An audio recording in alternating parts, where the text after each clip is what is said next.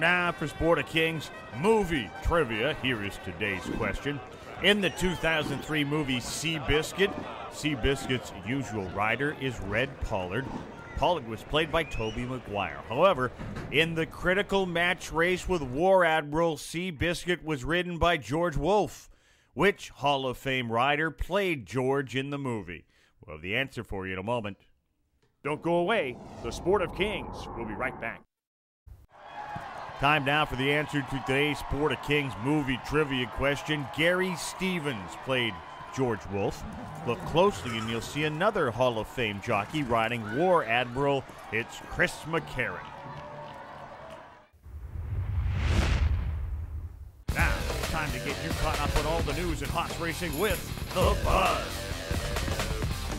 Last Saturday, prior to the racing here at Hastings Racecourse, the BC Lions were playing football. The team invited